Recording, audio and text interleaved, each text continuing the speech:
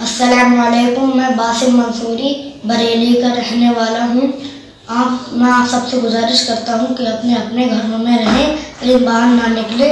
Corona virus बहुत तेज़ी से फैल रहा है, सावधानी ही बचाव है। खुदा हाफिज़।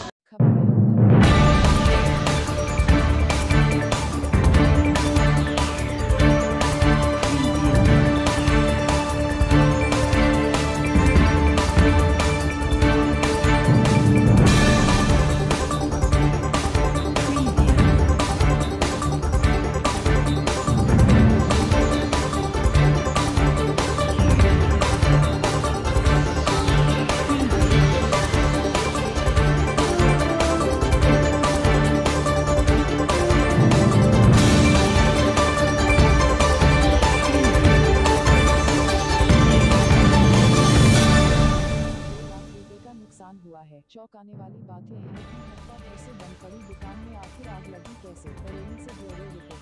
उदय सिंह। जी। उदय सिंह। उदय सिंह जी आपकी जो दुकान है इसमें कितना नुकसान हो गया? कैसे लग गई आग ये?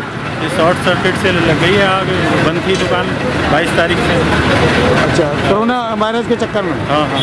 तो कितना नुकसान हो गया होगा लगभग? एक दो लाख रुपए का नुकसान क्या शुभ नाम है आपका? लीडिंग फार्मर महेश सिंह अ, मैं सिंह जी जानना चाहेंगे आज जो आग लगी है किस तरह की शिकायत थी क्या मामला था पूरा?